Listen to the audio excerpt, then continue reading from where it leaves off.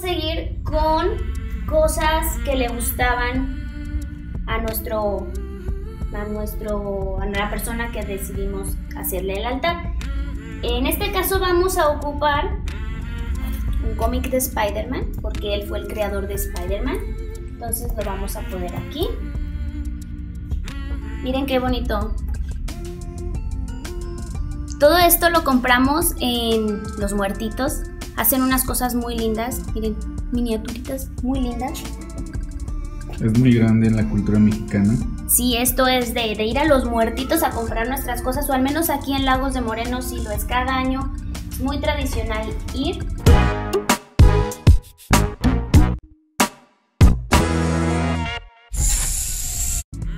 Hola, nosotros somos Cínica y Retórico y en este video les vamos a enseñar un poquito de cómo nosotros celebramos a nuestros difuntos el Día de Muertos. Sí, también les vamos a mostrar un poquito de cómo es que nosotros hicimos nuestro altar de muertos para la librería, adaptándolo a un espacio pequeño y también un poquito de cómo es que otras personas celebran yendo al panteón a visitar a sus difuntos, porque no toda la gente hace altares. Entonces, es que iba pasando una bruja. Y además también les vamos a platicar de unos artesanos mexicanos que son es algo tradicional y que realmente este, es parte de lo que es, es, celebrar el Día de Muertos aquí en México, en Lagos de Moreno, Jalisco. Sí, nos facilitan mucho la vida con sus artesanías. Miren, estos son lo que se conoce aquí en Lagos como los muertitos. Aquí es un lugar en donde vienen muchos artesanos y nos muestran, nos venden sus figuritas de azúcar que hacen y todo relacionado con el Día de Muertos. Venden calaveritas, muñequitos, ancianitos, comida, eh, sangre falsa para los disfraces, eh, todo lo que quieras para, para, hacer tu altar, para decorar tu casa, ahí los puedes encontrar. Este, se fijan a este papel picado que es como no de papel, es de plástico y así ya te dura para, para varios tiempo. También hay adornos de Halloween porque ya está llegando también la tradición. Que de hecho ahorita ya los niños no solo piden su muertito, sino que durante varios días ya agarran como tres días para pedir dulces, que está más divertido que en Estados Unidos. Pero aquí se canta una canción diferente. Se canta la canción de Somos los muertitos y venimos a pedir dulces, chocolates, lo que quieran compartir. Nos da nuestro muertito y si sí se los dan, entonces la canción debe cantar lo siguiente.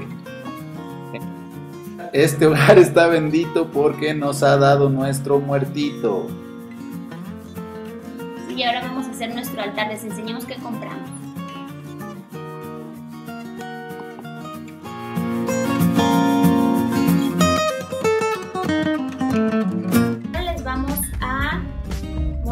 Cómo vamos a hacer nuestro altar de muertos aquí en la librería, porque ya decoramos con calabazas, ahora ya nos toca la parte mexicana. Y ya viene el Día de Muertos. Entonces, nuestro altar va a ser para Stan Lee, que va muy acorde para la librería que vendemos cómics y todo. Y Retórico es muy fan. Entonces, va a ser para él.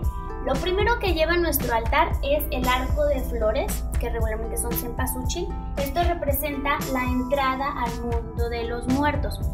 Y después va nuestra fotografía de la persona que pues, ustedes hayan decidido. El altar que vamos a hacer hoy es de tres niveles. Representa el cielo, la tierra y el inframundo o el purgatorio. Entonces vamos a comenzar poniendo el acerrín. El acerrín representa la tierra, Igual que los, el maíz o algunas semillas que ustedes le quieran agregar, que tengo maíz. Entonces vamos a poner, se pone como un, como un tapetito de, de acerrín. Como un caminito por donde va el a, el a pasar.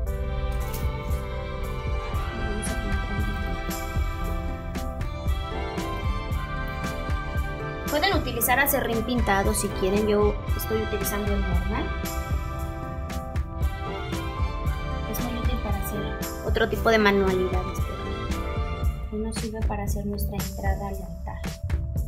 ya que tenemos nuestro acerrín, vamos a seguir con una cruz de sal. La cruz de sal es para la purificación de las almas, según, según cuenta la historia del altar de muertos. Entonces, la sal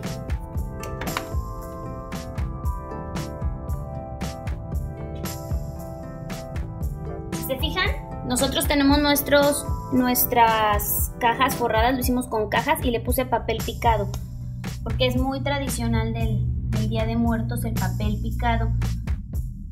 Leí que los, desde los antepasados lo utilizaban porque representaba el viento.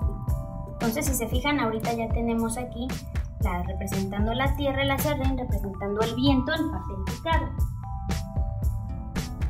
Bueno, ya que tenemos nuestra entrada al, al altar, lo vamos a rodear con flores pequeñitas de cempasúchil, que esto también ayuda para que ilumine el camino junto con las velas.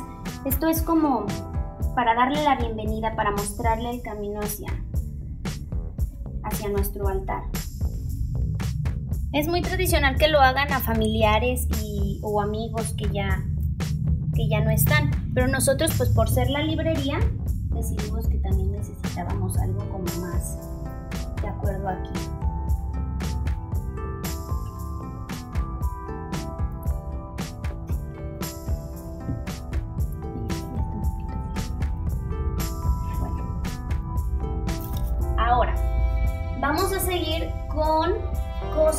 Que le gustaban a nuestro a nuestro a la persona que decidimos hacerle el altar. En este caso vamos a ocupar un cómic de Spider-Man, porque él fue el creador de Spider-Man. Entonces lo vamos a poner aquí. Miren qué bonito. Todo esto lo compramos en Los Muertitos. Hacen unas cosas muy lindas, miniaturitas muy lindas. Es muy grande en la cultura mexicana. Sí, esto es de, ir a los muertitos a comprar nuestras cosas, o al menos aquí en Lagos de Moreno sí lo es cada año. Es muy tradicional ir. Entonces nosotros eh, trajimos estas porque como él es americano, pues vamos a darle un poquito de su, de su cultura también. Entonces ponemos a nuestro Spider-Man. Y ahora seguimos con el otro elemento que es el incienso. Eh, yo aquí tengo incienso de copal, lo pueden conseguir también en piedritas y esto también sirve para la purificación del alma, igual que la sal, entonces lo vamos a poner aquí. También se adorna con calaveras, yo aquí tengo una que había hecho yo de, de unicel, pintado, con flores blancas que representan el cielo las, y las clásicas cempasúchil de flor de muerte. Falta esta otra calaverita que tenemos aquí. Miren, esta también la compramos ahí. ¿Ya vieron los detalles? Se llama alfeñique y es de azúcar. Sí, nada más que pues tiene tinta, entonces no, no la podemos comer. Antes sí. Sí, había unas que, que eran todas así que la, y que en vez de estar pintadas con, con, tinta o con marcador, estaban hechas también con el mismo alfeñique, que es como azúcar pintada ahí. Entonces esas sí se pueden comer. El siguiente paso son nuestras velas, que esto iluminan, ilumina nuestro altar, ilumina la, la, la venida de nuestra, de nuestra alma. Y tengo estas otras dos porque pues, es una librería, entonces pues, no queremos tampoco tener tanto, tanto exposición al fuego, miren.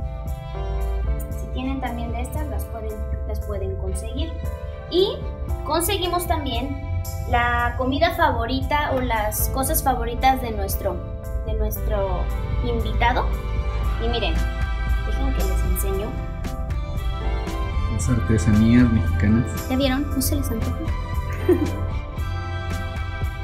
un sándwich, una hamburguesa.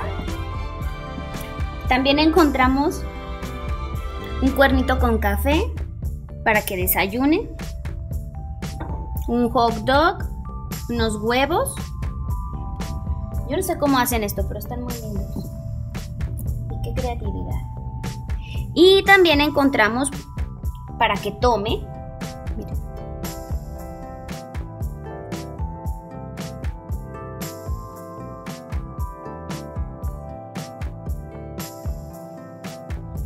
Aparte que también venden dulces tradicionales como cocadas o cajeta, Jamoncillos, que son y dulces todo eso. de leche típicos de lagos. Vamos a ponerle un postre. Ay, ¿dónde le ponemos el postre? Eso muéstralo.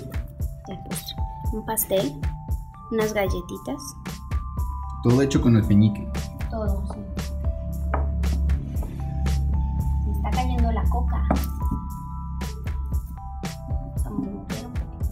Y vamos a poner unas florecitas para que, para que se vea bonito y le dé gusto.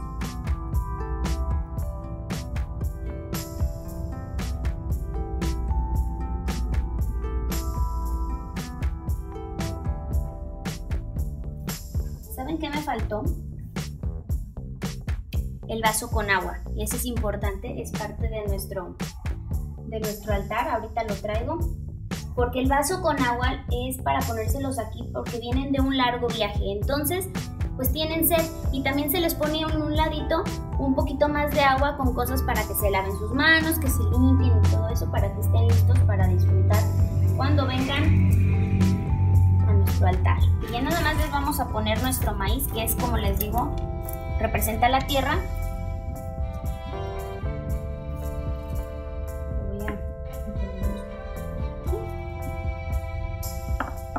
Miren, un plátano. También hay que darle algo de fruta. ¿A ustedes les gusta hacer altar de muertos en su casa? ¿Tienen esa costumbre?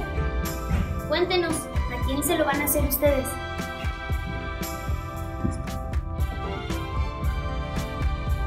Ya me traje el agua, miren. Estoy utilizando este cantarito. Este lo sacamos de esos dulces que venden con tamarindo adentro. Están muy bonitas las ollitas. Entonces vamos a ponérselo por aquí. Si hay unas personas que ponen también un perrito que simboliza al perro tradicional de aquí de México que es el Xoloitzcuintle. Yo no pude encontrar un perrito que se pareciera o que pudiera yo poner aquí, todos ya estaban grandes. Pero aquí el significado es que ese perro por el dios Xolo, que es el dios de la muerte, el dios de los muertos. Entonces este perro se supone que cuando una persona muere, lo, es, lo guía su alma para que, para que vaya a ese lugar donde tiene que ir. Por eso no sé si se acuerdan que en la película de Coco lo sacan mucho y cuando ya muere la persona se convierte como en este alebrije que guía el alma. Entonces, pues como nosotros no tenemos el perrito, pero sí tenemos el alebrije ahí arriba, entonces nosotros lo vamos a representar con ese.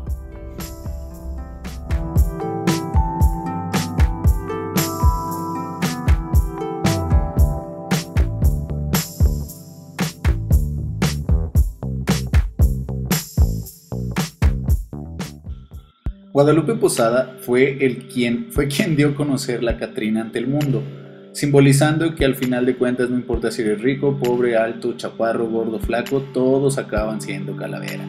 Por eso se pinta uno las caras para simbolizar que al final de cuentas todos terminamos igual. Miren, hay gente que aparte de hacer su altar, que pues es más que eso la tradición, va también a los panteones a visitar pues a su gente que tiene ahí. Ahí se llevan de comer, les llevan música, mariachi, hacen todo el picnic ahí, se van desde temprano y duran hasta en la noche y los adornan muy bonito. Es como si hicieran el altar ahí en la tumba. Les ponen veladoras y estas coronas y muchas luces y mucho, mucha fiesta. ¿Cómo ven? ¿Qué les ha parecido hasta ahora el video? Eh, pues muchos de ustedes han de preguntar por qué no pusimos un altar este, a alguno de nuestros familiares, pero en realidad es porque nuestros, bueno, mis papás lo, lo ah, celebran de manera diferente. Ellos en realidad van a donde están sepultados mis abuelos o donde están en, en la cripta. Van, les limpian, les barren, les llevan flores, incluso a veces hacen una misa ahí, les rezan y pasan un rato ahí con ellos. Entonces ellos por eso no hacen un altar. Y mi mamá, pues sus familiares están enterrados en una ciudad ya más lejos de aquí de Lagos. Entonces, ella lo que sí hizo fue puso su altar eh, y los puso a todos sus familiares que ya no están en ese pequeño altarcito. También es un pequeño miniatura, a ver si me deja tomarle una foto y para enseñárselos cómo le quedó. Coméntenos ustedes cómo es que celebran a, a sus difuntos. Eh, si ustedes hacen altar o si prefieren ir a- al cementerio o si en- simplemente en su casa nada más les hacen una pequeña oración para recordarlos, porque pues al final es una celebración de, de- de que ellos estuvieron, de lo que fue su vida, de recordar sus anécdotas o siempre estar acordándonos de las historias que nos contaban o cosas así y siempre tenerlos en el corazón. Entonces, pues coméntenos ahí abajo su, su opinión, su- sus historias. Sus anécdotas con sus seres queridos, de qué se acuerdan, de qué personas de la que se acuerdan en estos días. Sí, Nos vemos en el próximo video. Si te gustó, dale like y no olvides suscribirte para próximos videos. nos vemos.